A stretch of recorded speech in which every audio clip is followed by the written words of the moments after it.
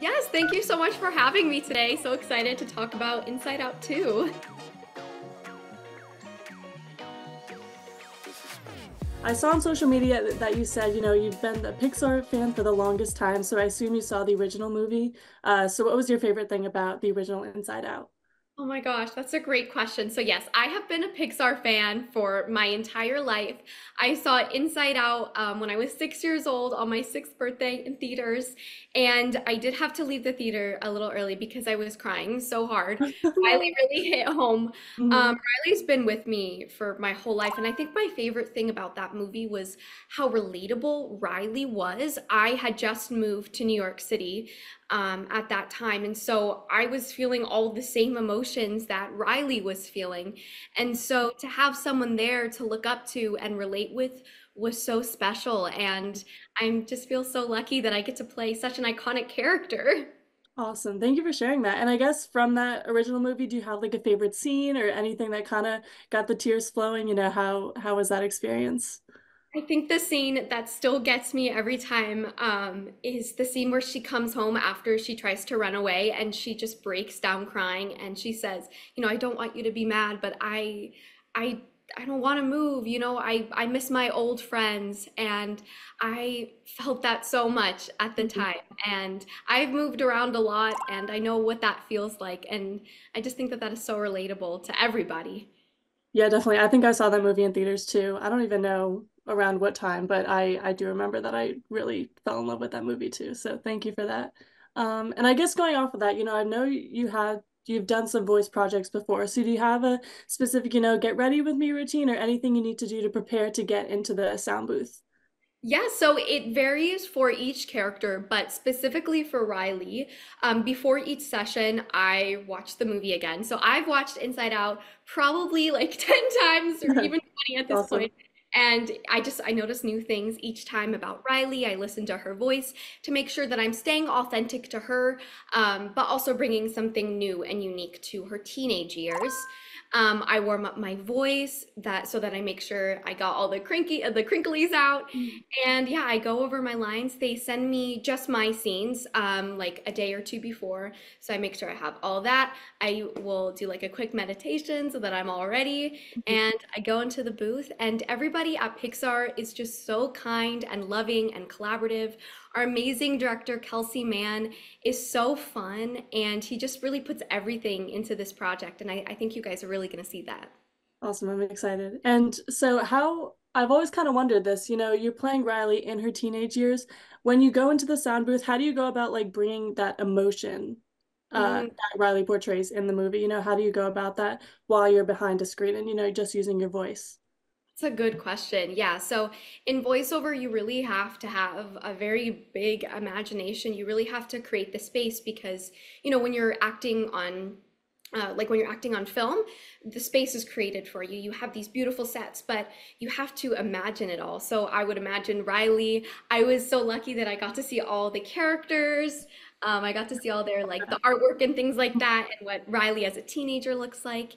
And every single line that she said was so relatable, something that I have thought, something that I have said before. Mhm. And so, you know, for some of those scenes where she's really anxious, I would draw on my anxiety because I do have anxiety and it's something that I've struggled with for a long time. And, you know, I, I thought it was something that I should be ashamed of. But when I read Inside Out 2, I realized that, you know, I wasn't alone and that anxiety is something we all struggle with and it's something we don't have to be ashamed of.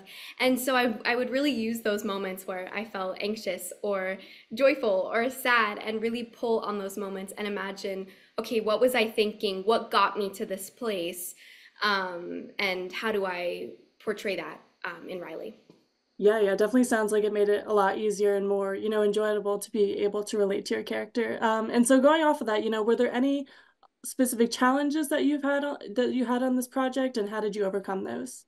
Yeah, that's a good question. I think um, the biggest challenge was just making sure that I was staying authentic to Riley, um, but also bringing, you know, this new teenage energy to her because being a teenager can be tricky and challenging, and I know what it's like.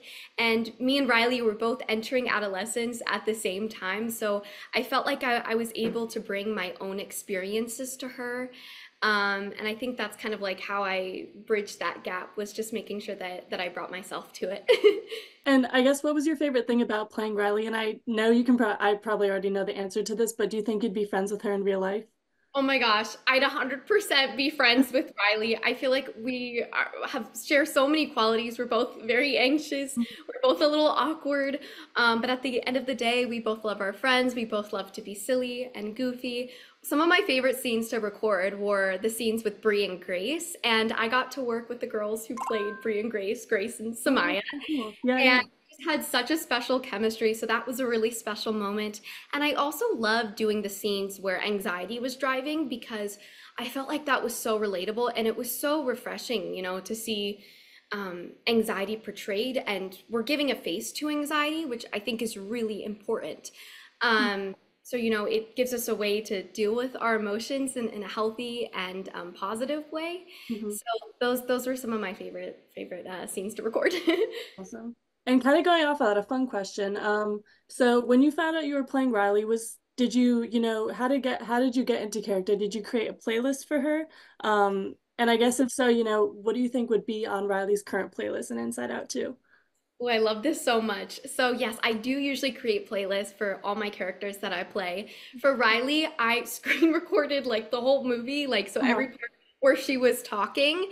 Um, and so I would listen to that over and over again. There's also um, a part in the new movie where she has this like specific band that she likes.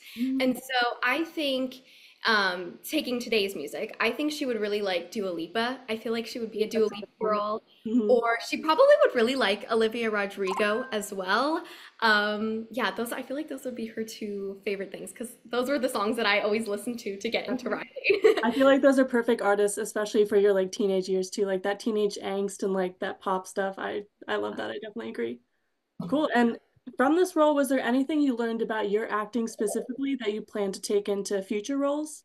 Yeah, I love this. So I think Riley really taught me that, you know, it's okay to not be perfect all the time. And I think that's something that I've struggled with in my personal life and also um, in my acting life is I always want to be perfect and I, I'm such a perfectionist. But she taught me that, you know, we're all beautiful and messy and there's good parts to us and there are bad parts to us, but that's what makes us us. And mistakes are what help us grow. And so I think I've really been able to take that into my other acting projects is, you know, Mhm. learning from our mistakes and learning from the messiness because that's that's what makes us beautiful. Yeah, definitely. And I guess going off of that, you know, Inside Out 2 has a star-studded cast of other voice actors. Did did you get to work with them closely, or did you pick up any, you know, lessons or tips from from working with them?